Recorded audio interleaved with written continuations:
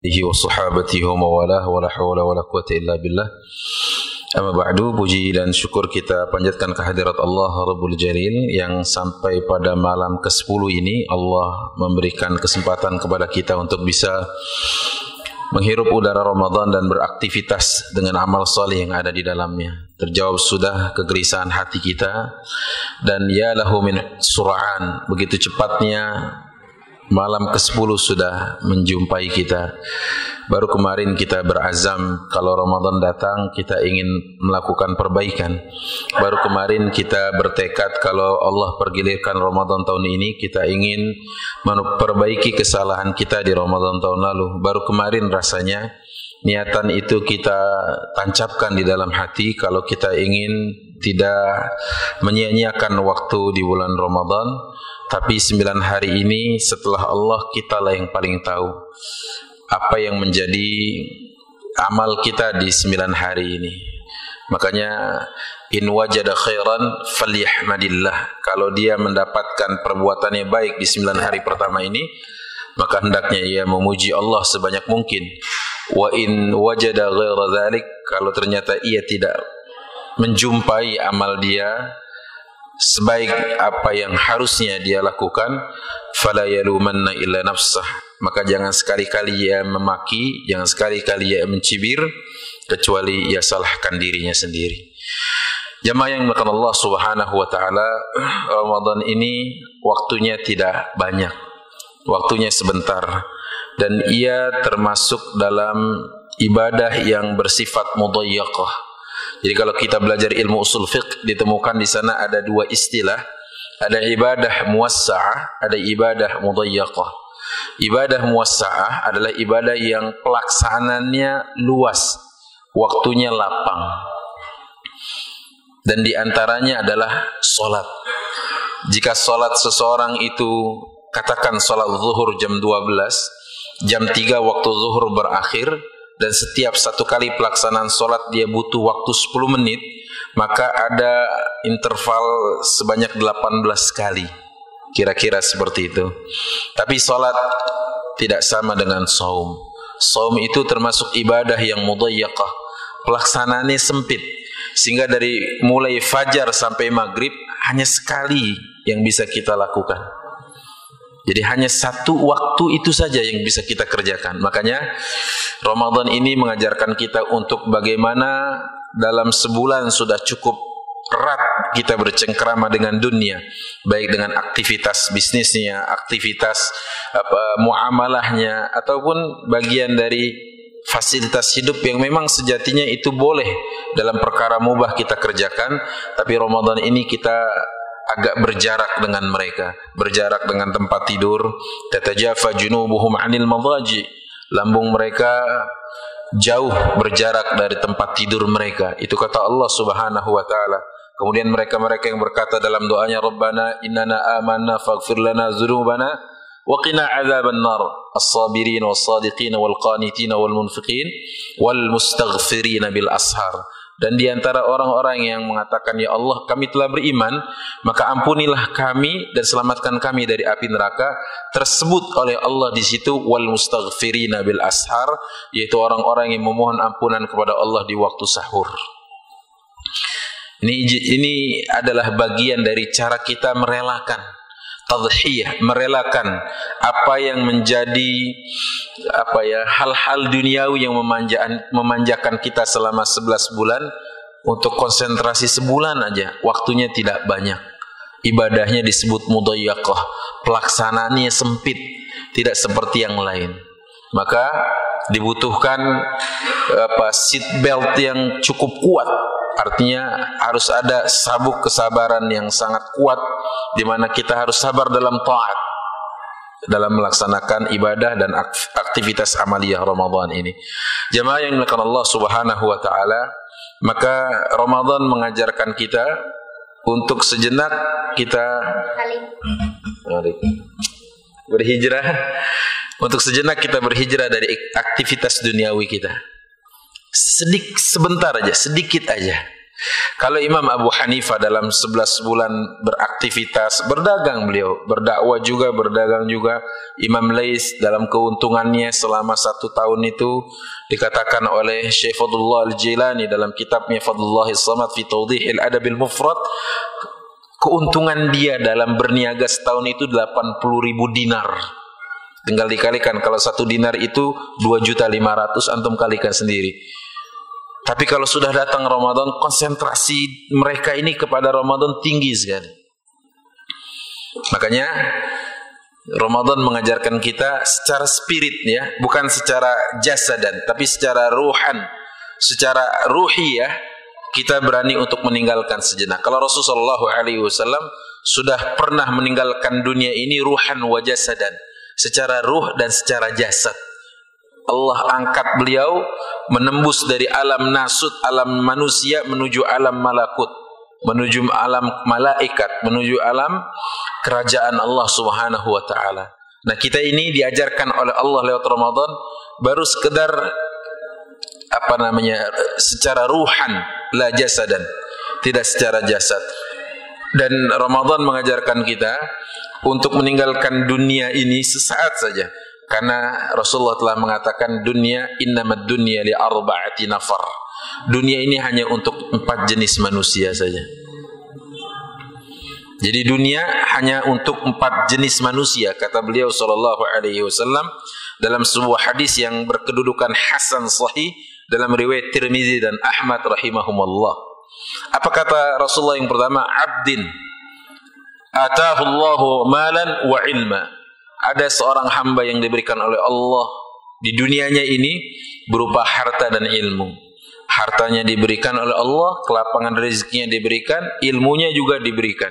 Diberikan oleh Allah iman, diberikan ketakwaan, diberikan ilmu syar'i, dengannya ia beribadah, dengannya ia takut kepada Allah. Wa ya'rif anna fihi haqqa. Dia tahu ada hak yang harus ditunaikan dan dia dengan ilmu dan harta tersebut bertakwa kepada Allah. Dia tahu ilmu itu harus diamalkan. Ilmu itu harus dizakatkan. Zakatul ilmi, zakatnya ilmu adalah dengan cara diajarkan. Kemudian dia tahu zakatnya harta dengan cara ditunaikan. Al-Quran surat ke-9 ayat 34 dan 35 Allah mengatakan dalam ayat itu bahwasanya ya ayyuhalladzina amanu inna katsiran minal ahbari wa ruhbani la yakuluna amwalan nasi bil batil wa yasudduna an sabilillah.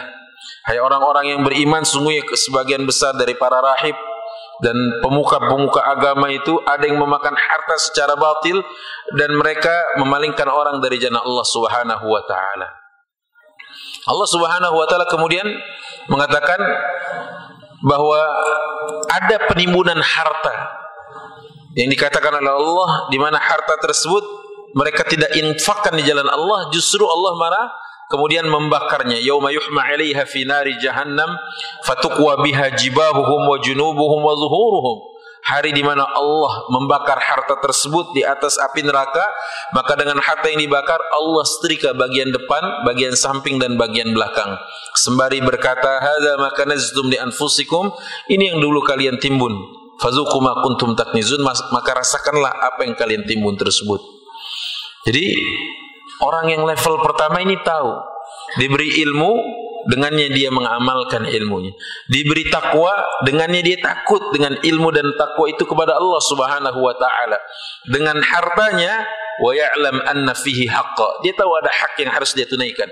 Maka Allah mengatakan di dalam ayatnya yang lain, fi amwalihim haqqum ma'lum lis-sa'ili wal mahrum. Dia tahu bahwa di dalam hartanya ada hak atau kadar yang harus ditunaikan kepada para peminta-minta atau yang menahan dirinya untuk tidak meminta-minta karena iffah, karena adanya rasa malu yang dia uh, miliki kepada Allah Subhanahu wa taala. Ini yang pertama. Kata Rasulullah fahuwa fi a'lal manazil. Orang ini berada pada level tertinggi. Levelnya paling tinggi, paling mulia dia sudah baik secara keimanan, baik juga secara finansial. Sudah saleh, kaya, sudah kaya, taat. Gitu kira-kira. Yang kedua kata Rasulullah alaihi wasallam, "Abdin atahu Allahu ilman wa lam yu'tihi malan." Ada yang diberikan oleh Allah ilmu, Ilmu syar'i dia faham, ilmu mengenal Allah dia mengerti, ilmu tentang bagaimana cara beribadah dengan benar dia tahu, tapi tidak diberikan kelapangan rizki seperti pendahulunya. Wahwa yakul, tapi dia berkata, dan dia berkata dengan sungguh-sungguh pada perkataannya, "Laukana li mislama li fulan."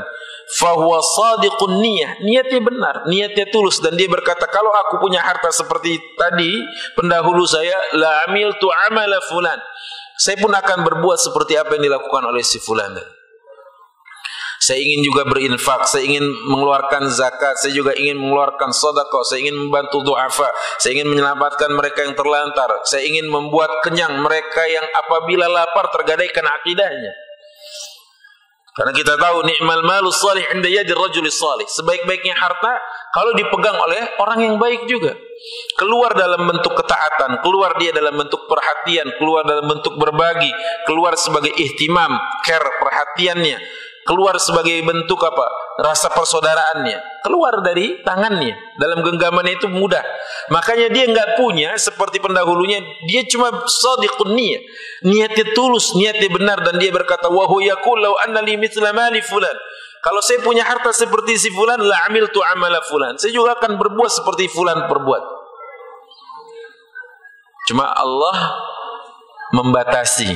Makanya Allah berfirman dalam Al-Quran, yabsutur rizqa liman yasha wa yaqbid. Allah membentangkan rizkinya kepada siapa yang dikehendaki sebagaimana Allah menahannya dari yang dia kehendaki. Allah membagi amal sama seperti membagi rizki. Allah membagi rizki sama seperti Allah membagi amal kepada kita.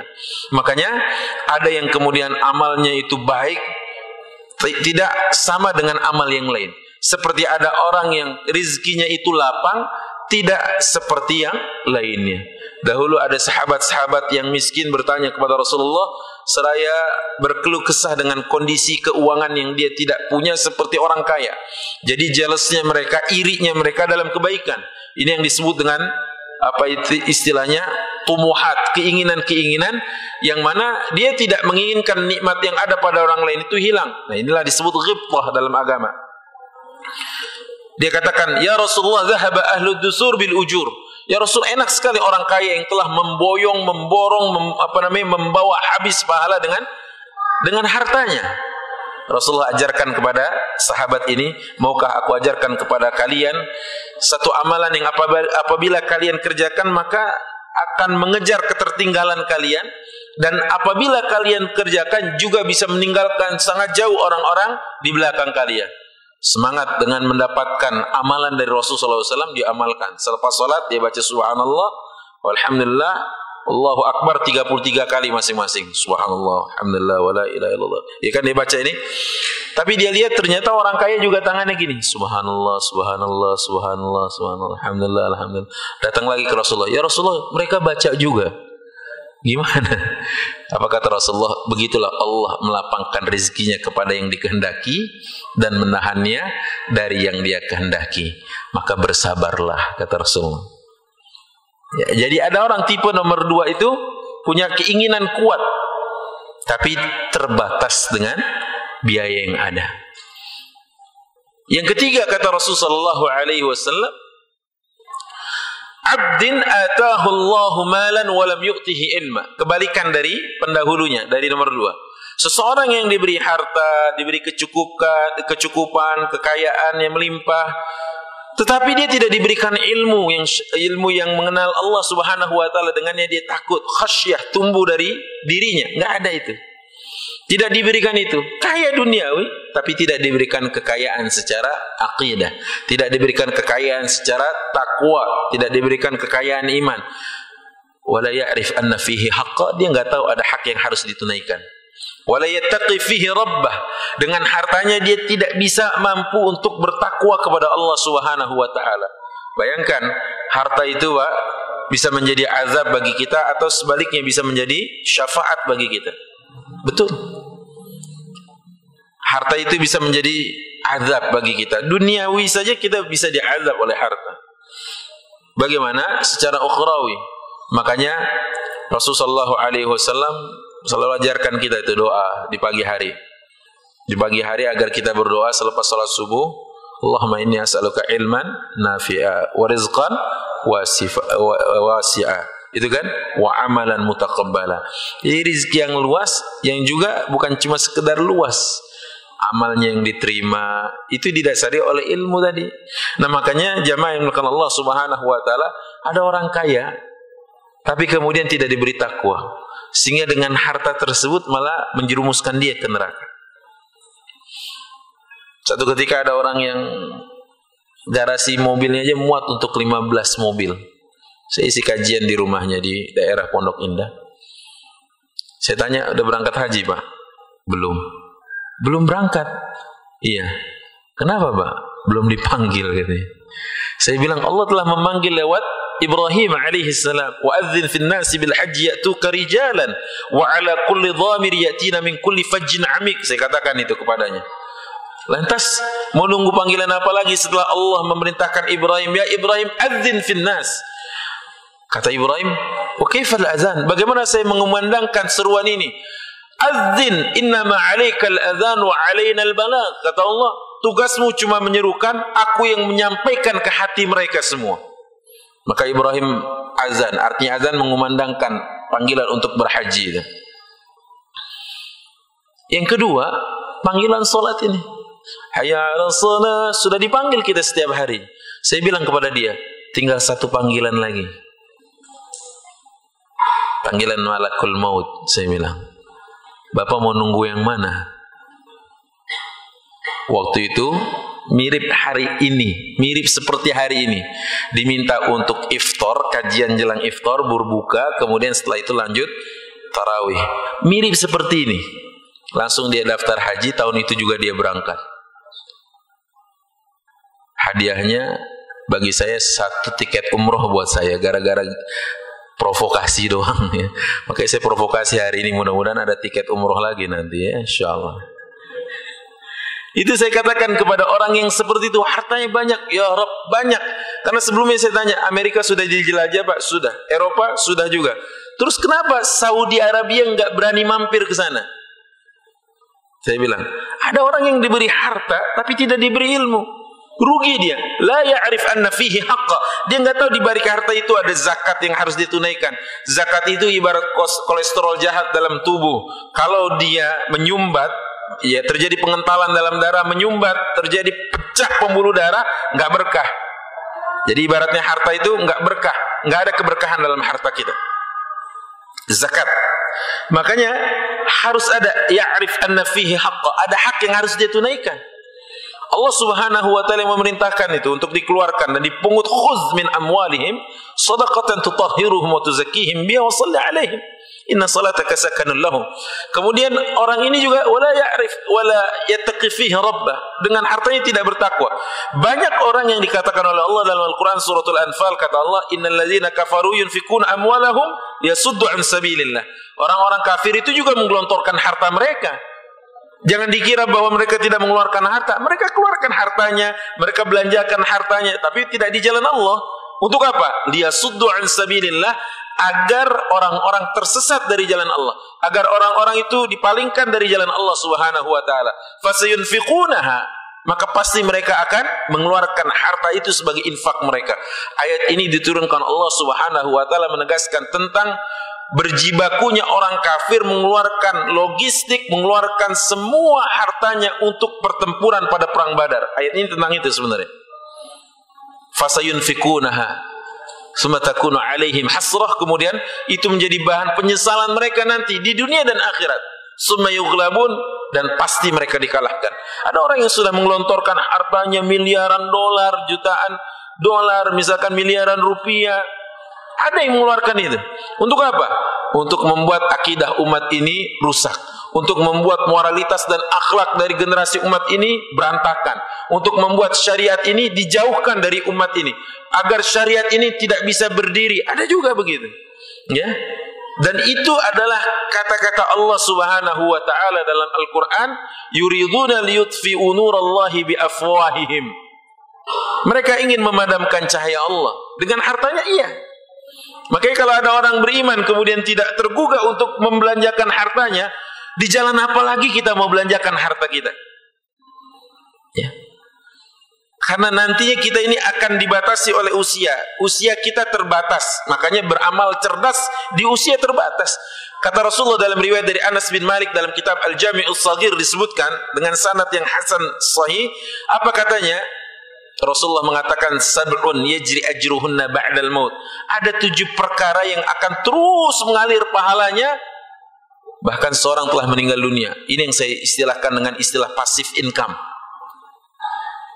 satu waktu kita tidak bisa lagi gini Pak. Pasti itu. Satu waktu kita nggak bisa lagi berdiri di belakang imam, justru kita berada di depan imam. Pasti itu.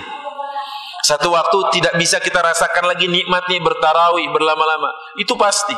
Satu waktu kita tidak bisa lagi menikmati indahnya majelis ilmu atau taman-taman surga. Itu pasti, Pak. Pasti itu. La mahala. Nggak mungkin nggak. Pasti itu. Nah saat itu menjadi kepastian, maka kita harus beramal cerdas di waktu terbatas. Apa kata Rasulullah di dalam hadisnya ini? Yang pertama adalah ilman allamahu. Ilmu yang harus diajarkan. Nah, level orang ketiga tadi nggak punya ilmu, apa yang mau diajarkan? Pun punya harta, tidak seperti yang dikatakan Rasulullah sebagai pasif income. Au ajronaharan atau dia membuat sebuah aliran irigasi. Au hafara bi'ran atau dia membuat apa? Water well itu untuk pengadaan air bersih. Atau apa lagi? Atau kata, kata Rasul au gharasa nakhlan atau menanam pohon. Walaupun konteks hadis ini adalah pohon kurma. Karena kenapa pohon kurma? Karena dia ibaratnya di kita di Indonesia seperti pohon kelapa gitu tidak ada yang terbuang darinya makanya Rasulullah memberikan perumpamaan seorang mukmin itu seperti pohon kurma nggak ada yang nggak manfaat dalam hidupnya Walaupun kalau antum tanam mangrove, jabon, tanam apa lagi, ya itu juga akan jadi maslahat dan manfaat karena apa? Karena melakukan sebuah penghijauan dan dari satu pohon keluar sekian ribu jumlah oksigennya. Coba. Sampai seperti itu. Pahala terus akan mengalir. Orang berpikir bahwa ibadah mahdoh terus. Enggak, ini enggak, ini bukan ibadah mahdoh ini. Kemudian apa lagi? Au bana masjidan atau memakmurkan atau membuat masjid atau membangun masjid. Al-umran memakmurkan masjid lahu kisman. Ada dua model. Yang pertama adalah al-umran fil binyan atau fil bunyan. Membangunnya, bangunnya fisiklinya dibangun dibuat nyaman, dibuat indah, dibuat orang-orang yang datang ke masjid senang, sejuk, nyaman, mau berlama-lama di dalam. Itu sama seperti yang dikatakan Rasulullah man bana lillahi baitan fid uh, man bana masjidan lillahi fid dunya banallahu lahu baitan fil jannah. Barang siapa yang membangun masjid di dunia ini Allah akan bangunkan baginya satu rumah di surga kelak. Yang kedua, al-umran yang dimaksud dengan memakmurkannya adalah fil ibadah dalam hal beribadah kepada Allah Subhanahu wa taala dan aktivitas-aktivitas salih lainnya. Maka kita bisa maksimalkan itu. Jadi satu waktu kita meninggal dunia, masjid ini masih dipakai oleh orang-orang untuk seperti ini terus beriktikaf, adanya kajian, ada mereka yang mencoba untuk memaksimalkannya dengan adanya tahsinul Quran, adanya tahfizul Quran, macam-macam segala pahalanya akan mengalir ke kita. Tapi orang nomor tiga ini nggak tahu ke mana uangnya dibelanjakan. Ada orang rela untuk menghabiskan uang ya miliaran rupiah per malam, semalam mbak. Saya tahu karena ada kawan saya waktu ditelepon dia bilang, ayo udah, udah gue siapin tiket nih buat lu pergi ke Makau. Ya, kemudian apa? Hotel juga. Uang buat masangnya juga udah kata dia. Ente siapin dosa aja katanya. Insya Allah. Ente cukup siapin dosa aja katanya. Dia bilang enggak, lagi ngawal ustadz ini katanya. Mau ke Sulawesi, lagi ngawal ustadz mau ke Sulawesi. Anda iseng-iseng tanya ke dia, emang berapa sih kalau dia sekali masang? Sekali masang tuh saat satu miliar. Satu miliar saya bilang iya. Kalau kita kelasnya kelas recehan. Dulu waktu anak belum tobat dia bilang sebulan bisa berangkat empat kali ke Makau. Sekali berangkat ya modal dua setengah. Dua setengah ini berapa? puluh juta. Iya. Anda bilang puluh juta kali empat berapa? Satu miliar juga. La haula wa la quwata illa billah. Ada orang dilapangkan rizki tapi tidak diberi ilmu. Tentukan nih kita di level yang mana nih? Dari level-level yang disebutkan Rasulullah dalam hadis ini. Kata Rasulullah fahuwa fi akbahil manazil. Orang nomor tiga ini seperti apa namanya kedudukannya paling rendah dia, rendah dia. Jadi jangan berharap hidup itu punya banyak harta pak. Kalau nggak banyak ilmu, rugi. Rugi, betulan rugi. Kalau mau berharap banyak ilmu, man yuridillahu khairan bihi khairan yufaqihu fid din. Barang siapa yang Allah kehendaki menjadi baik, Allah akan fahamkan dia tentang urusan agamanya. Itu dulu. Kalaupun ada kelapangan rizki yang Allah berikan kepada kita, mudah-mudahan dengan cara yang halal. Gitu. Karena mana bata minal haram fannaru aula bihi. Apa yang tumbuh dari barang yang haram karena api neraka yang lebih pantas membakarnya. Buat apa harta kaya banyak tetapi dengan cara yang tidak halal? Gitu kan? Ini nggak boleh ini. Nah makanya seorang muslim itu harus punya pikiran yang benar dia dalam menyikapi dunia. Ramadan mengajarkan kita untuk itu. Buktinya apa? Kita tahu kita beli dengan cara maaf, kita beli dengan uang yang kita peroleh dengan cara yang kita tahu kehalalannya. Kemudian yang kita beli zatnya yang halal juga. Tapi kita tidak boleh memakannya sebelum waktu waktu tiba untuk boleh menghal, eh, apa halal untuk memakannya. Ini dia. Dan orang yang level keempat ini adalah level terburuk. Kenapa level terburuk? Abdin lam yu'tihillahu malan wala ilma. Enggak dikasih kelapangan harta, enggak dikasih ilmu agama. Ruginya dua kali, Pak. Rugi dua kali itu gini. Dia miskin secara akidah, miskin juga secara finansial sudah miskin, dia nggak puasa hari itu. Rugi sekali. Udah miskin nggak sholat coba. Apa yang mau dia banggakan pulang ke hadirat Allah kelak? Sudah miskin nggak taat. Ente mau modal apa ngadep Allah gitu loh. Udah miskin dia. Malah kalau seandainya miskinnya itu menjadikan dia sombong untuk nggak sholat lebih parah lagi. Satu dari tiga orang yang kelak Allah tidak akan ajak bicara. Salah satu la yukallimuhumullah wa la yanzuru ilaihim wa la yuzakihim. Kata Rasulullah SAW, satu dari tiga orang yang Allah nggak akan menoleh, Allah nggak akan ajak bicara, Allah pun nggak akan pernah mensucikan jiwa orang itu. Al-a'ilul mustakbir. Orang fakir sombong. Apa yang mau disombongin? Ya, Orang fakir sombong, udah udah fakir sombong itu apa yang mau disombongin coba? Tapi ini orang nomor empat ini ada nyata ini dalam kehidupan kita secara dunia nyata real ada mereka. Kata Rasulullah SAW adalah orang yang tidak diberi harta, tidak diberi ilmu agama. Wahwa yakul, tapi dia berkata dengan sungguh-sungguh, lo anna mislama li fulan. Kalau aku punya harta seperti pendahuluku, maksudnya orang dengan level ketiga tadi, la amil tu amala fulan. Aku juga ingin seperti si fulan. Coba lihat. Irinya atau keinginannya seperti orang nomor tiga tadi. Yang disebutkan fahuwa fi akbahil manazil tempatnya paling rendah kata Rasulullah. Ada orang kayak gitu? Ada, Pak. Miskin tapi di sini cita-citanya adalah mau maksiat. Ini nanti nih kalau anda diberikan harta yang lapang juga kayak dia pengen juga aneh pengen terbang tuh ke Makau setengah satu dini hari. Sana pengen lihat katanya kamar hotel yang bisa buat main bola katanya. Tapi kayak gitu ada orang pikirannya kayak gitu tuh ada. Orang yang kayak gitu kata Rasulullah SAW fahuma fil wizri sawa. Dalam hal perolehan dosa sama. Makanya hati-hati dengan niat kita. Ramadan mengajarkan kita untuk menjadi pribadi yang berhasil meninggalkan ini, meninggalkan hingar-bingar duniawi sehingga level kita naik paling tidak dari orang-orang yang kalau tidak di apa namanya diberikan uh, diberikan harta hanya diberikan ilmu tapi kita tahu bahwa sesungguhnya Allah Subhanahu wa taala ingin memberikan kita apa yang menjadi apa namanya derajat apa yang menjadi apresiasi atau pahala dari Allah Subhanahu wa taala dengan kita berazam bertekad sungguh-sungguh ya Allah di Ramadan ini andai saya diberikan kelapangan rezeki seperti si fulan. Saya akan berbuat ini dan itu. Maka ikhwati billah azakumullah wa ya lihat bagaimana kedudukan niat di dalam agama kita. Niat ini posisinya luar biasa. Makanya dikatakan oleh Imam Ahmad bin Hanbal dan ini dikutip oleh Imam bin Rajab al-Hambali dalam kitabnya Jami'ul Ulum wal Hikam. Ada empat hadis yang menjadi pilar beraga, beragama salah satunya adalah hadis tentang niat. Innamal a'malu bin niat. Kenapa? Karena kata Imam Syafi'i berpulang semua masalah din ini, masalah agama ini kepada satu hadis yang mulia ini. Apa itu? hadis innamal a'malu binniyat. Dan jamaah yang melakukan Allah Subhanahu wa taala maka coba kita harus mengevaluasi lagi. Kira-kira kita di level mana dari rangkaian manusia? Kalau kalau Rasulullah telah mengatakan innama berarti tufidul hasr memberikan sebuah batasan sehingga tidak ada lagi level yang kelima atau keenam. Cuma ada empat level manusia dalam kehidupan dunia ini. Tentukan kita yang mana. Ya, jangan sampai kita nomor tiga atau nomor empat. Wal billah. Kenapa demikian?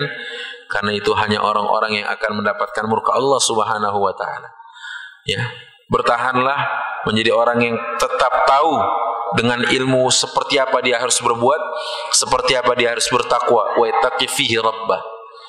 Ya, syukur-syukur kalau kita diberikan oleh Allah kelapangan, maka dengan hal itu kita akan banyak berbuat.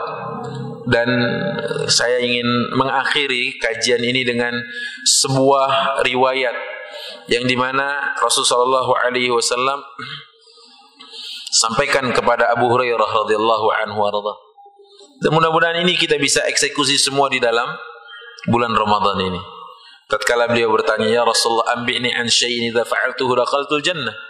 Ya Rasulullah, kabarkan kepadaku tentang hal yang apabila aku kerjakan aku masuk ke dalam surganya Allah. Lihat kata beliau. Yang pertama afshis salam. Yang kedua wa at'imut ta'am. Yang ketiga wasilil arham. Yang keempat wa kum bil laili wan nasunya tadkhulu jannata rabbikum salam. Yang artinya adalah tebarkanlah salam. Ya.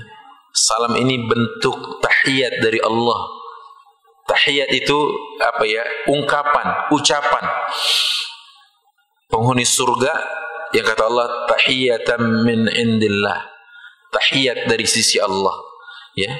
Yang kedua adalah dikatakan oleh Rasulullah berbagi makanan. Yang ketiga adalah saat kita bisa menyambung silaturahim dan yang keempat adalah kita terbangun di saat yang lain tertidur. Ini semua adalah upaya kita untuk melepaskan perlahan-lahan belenggu-belenggu duniawi kita. Karena orang yang terbelenggu oleh dunia, terkadang malas dia untuk mengucapkan salam, dia pikir dia duluan harus yang ngucapin, bukan saya. Tapi bagi mereka yang tahu bahwasanya ini adalah tahiyatan mubarakah min indillah, ucapan atau ungkapan yang penuh berkah dari Allah. Wa khairuhuma man yabda bisalam. Kata Rasulullah yang terbaik adalah yang pertama kali mengucapkan salam, melepas belenggu duniawi. Karena kadang ada ego duniawi kita. Ya Pak ya. Dia yang salah kok. Itu satu. Yang kedua, saya kan lebih tua. Ya kan? Yang ketiga, saya kan atasannya. Yang kayak gitu tuh Pak. Itu belenggu-belenggu duniawi yang kita harus belajar mengikisnya perlahan. Ramadan ini mudah-mudahan kita bisa eksekusi itu perlahan. Yang kedua adalah berbagi. Berbagi ini adalah juga cara kita untuk melepaskan diri kita dari bakhil, kebakilan. Wa may nafsihi. Kata Allah barang siapa yang terpelihara dari kekikirannya, faulaika humul muflihun. Maka mereka adalah orang-orang yang beruntung.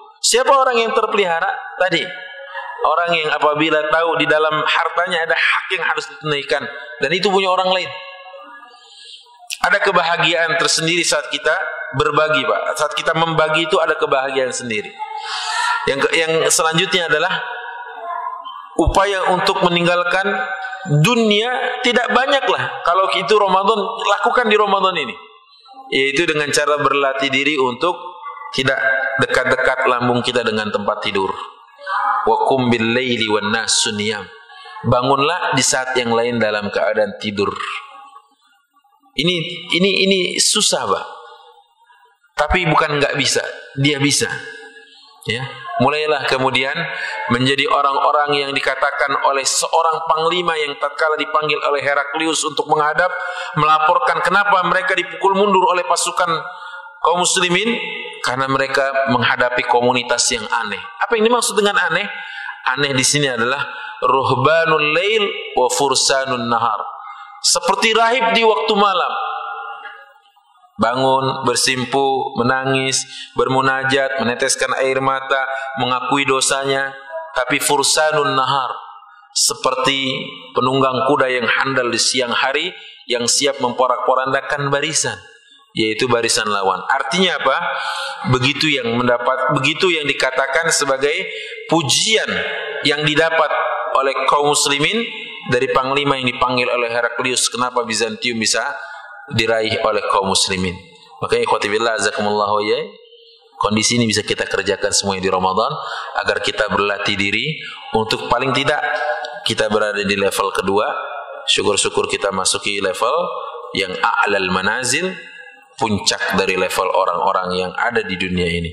Aku lu qauli hadza wa astaghfirullah li wa lakum wa syairin muslimin wal muslimat min kulli dhanbin wa khati'ah fastaghfirunahu wal ghafurur rahim. Subhanakallahumma wa bihamdik asyhadu an la ilaha illa anta astaghfiruka wa atubu ilaik. Assalamualaikum warahmatullahi wabarakatuh. الحمد لله رب العالمين